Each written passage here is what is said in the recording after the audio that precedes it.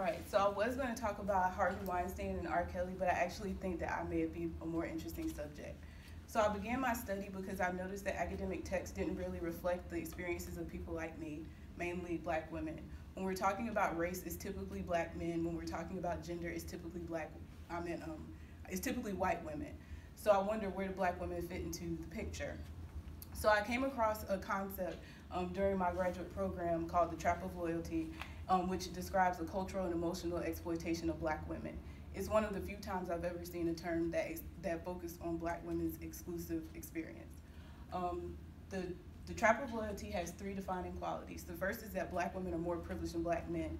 And this idea stems from the erasure of black women's experiences from both anti-racism and feminist movements throughout history and presently.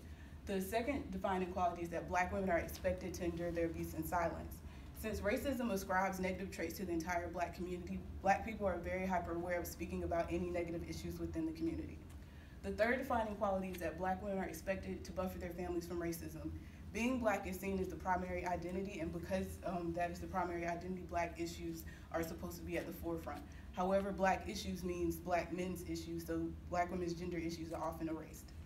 My study seeks to answer the question, in what ways are, is the black woman's experience in the United States today defined or not defined by the trap of loyalty?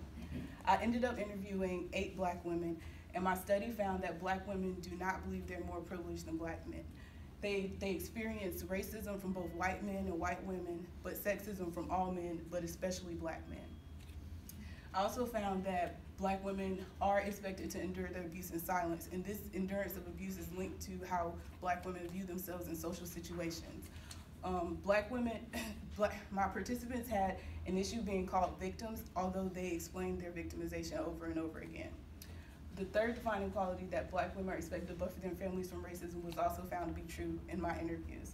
Um, black women saw that felt that their issues were being erased for black men's issues and leaving them more vulnerable to abuse. Um, the trap of loyalty helps provide a little bit of insight into black women's um, into black women's experiences, um, given that our issues are often erased or ignored. While this is a presentation about black women, I also saw it as a presentation about me. It's very disheartening to see the erasure of black women's experiences from American, um, from history and currently in the news.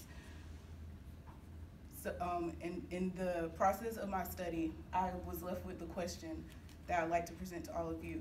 What does it say about our society that we, we continuously ignore the groups of people who show up time and time again for everyone else?